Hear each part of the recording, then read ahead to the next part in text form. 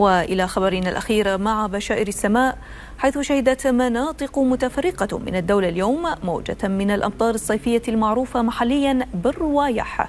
تراوحت شدتها ما بين الغزيرة والمتوسطة وتركز معظمها في فلج المعلى والبطايح والعوير وسيح الدحل وسيح السلم والطي والمناطق الوسطى والشرقية وبعض الإمارات الشمالية. فضلا عن منطقة العين بإمارة أبو ظبي. وجرت على إثرها الأودية والشعاب التي شهدت رياحا عاتية إلى جانب انخفاض نسبي في درجات الحرارة وتدني مدى الرؤية الأفقية مع تجمع المياه في بعض الطرقات والبؤر المنخفضة. وهذه اللقطات من تصوير فريق مركز العاصفة.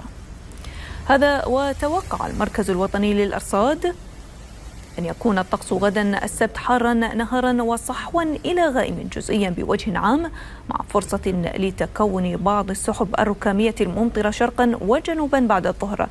ورياح خفيفة إلى معتدلة السرعة ونشطة إلى قوية أحيانا مع السحب المثيرة للغبار والأتربة تؤدي إلى تدني مدى الرؤية الأفقية.